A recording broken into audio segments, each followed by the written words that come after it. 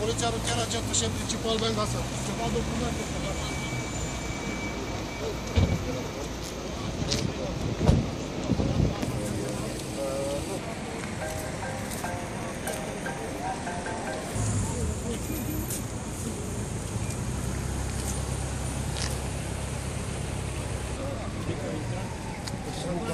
Thank you.